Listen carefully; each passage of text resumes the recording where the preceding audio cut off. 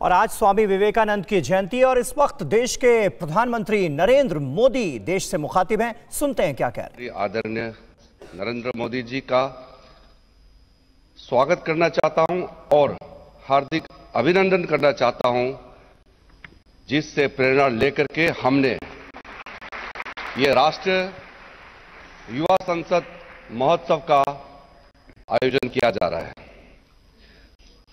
संसद के central hall में मौजूद लोकसभा के स्पीकर, आदरणीय ओम बिरला जी का भी मैं स्वागत करना चाहूँगा, जिन्होंने संसद के इस सेंट्रल हॉल में इस कार्यक्रम को आयोजित करने का अवसर प्रदान किया और हमारे युवाओं को एक नया आयाम दिया है। माननीय शिक्षा मंत्री डॉक्टर रमेश पोखरियाल जी का मैं स्वागत करना चाहता हूँ।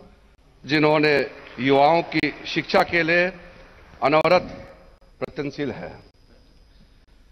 यहाँ मौजूद secretary general Rajya Sabha secretary general Lok Sabha सचिव युवा कार्यक्रम विभाग, सचिव खेल विभाग और अन्य गणमान्य व्यक्तियों का भी मैं स्वागत करना चाहता हूँ और साथ साथ जो हमारे मुख्य केंद्र बिंदु है, हमारे प्रतिभागियों युवा सांसद आज यहाँ सेंट्रल हॉल में देश भर से जो चुने हुए चौरासी हमारे यूथ पार्लियामेंट्रियन यहाँ आए हैं और देश के कोने कोने से जुड़े हुए आज इस वर्चुअल मोड में इस युवा राष्ट्र दिवस और राष्ट्रीय युवा सांसद महोत्सव दोनों के इस मिलन के अवसर पर जुड़े हुए आप सबका मैं तह दिल से स्वागत करना चाहता हूँ।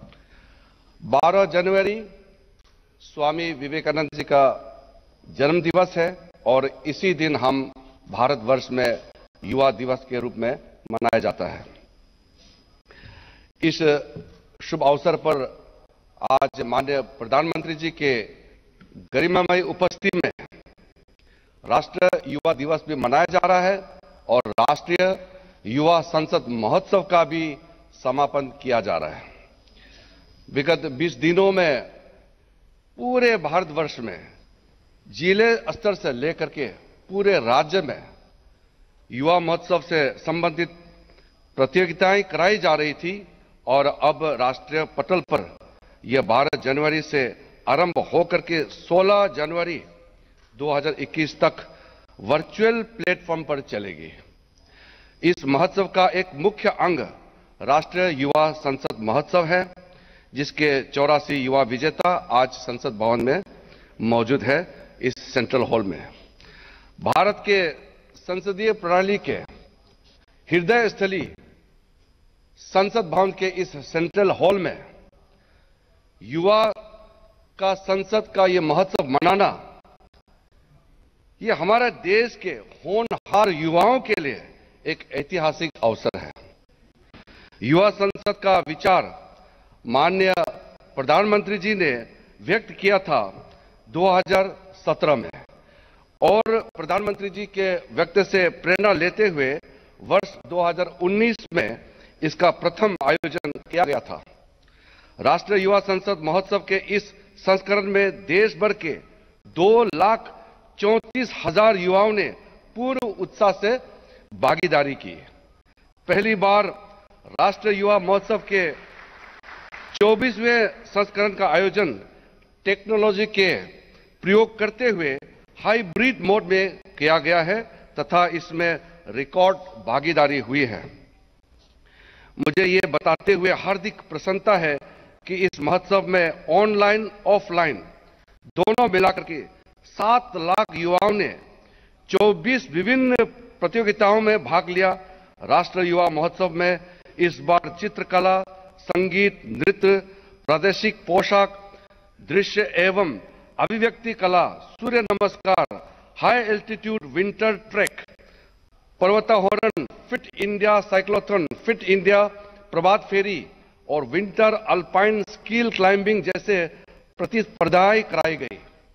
इसमें से कुछ प्रतियोगिताएँ पारंपरिक रूप से कराई जाती थी, वही कई साहसिक गतिविधियों को इस वर्ष के राष्ट्रीय युवा महोत्सव से जोड़ा गया है। I would like to congratulate all the winners of this national youth parliament festival and all the participants also and I would like to acknowledge on this very important occasion that when honourable prime minister Narendra Modi ji gave a clarion call to the nation to fight the pandemic the youth of India had shouldered the responsibilities and they remain in the forefront of our battle against the pandemic. I congratulate all the youth of India on this momentous National Youth Day. We are very fortunate that India has a large youth force and this huge force are going to create the Atmanirbhar Bharat.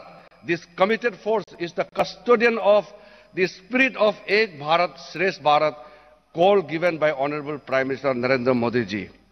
I express my deepest gratitude to Honorable Prime Minister for inspiring the youth of India and for giving this huge opportunity to the youth of India and for this momentous occasion to gather here in the historic Central Hall of the Parliament of India. I once again express thanks to everybody, Honorable Speaker and the members of the, all the Youth Parliament delegates and all the officers who have given a platform and made this occasion a successful one. Thank you very much. Jai Hind.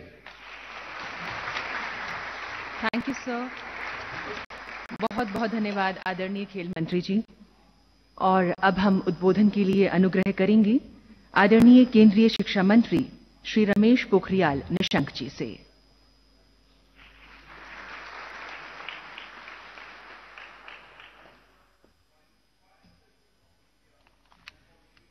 राष्ट्रीय युवा संसद महोत्सव का समापन और युवा दिवस के इस अवसर पर दुनिया के सबसे लोकप्रिय और सशक्त नेता भारत के यशस्वी प्रधानमंत्री परम श्रद्धेय श्री नरेंद्र मोदी, जिनका करोड़ों करोड़ों युवाओं को प्रेरणा मिलती है। हम सब करोड़ों करोड़ों युवा उनका हृदय की गहराई से अभिनंदन और इस कार्यक्रम में सम्मान कर रहे हैं। अभिनंदन कर रहे हैं।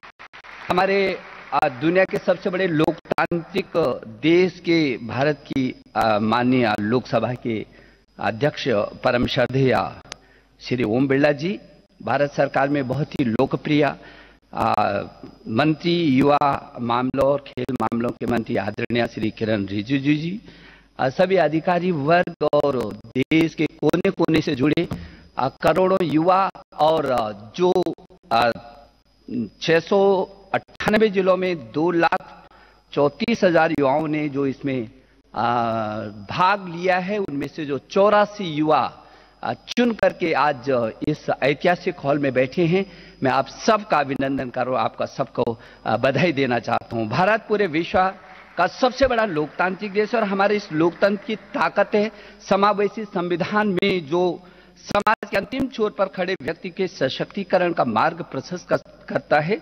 हमारा संविधान का सबसे महत्वपूर्ण हिस्सा है प्रस्तावना। और इस प्रस्तावना का पहला शब्द है वी यानी हम, अर्थात हम भारत के लोग।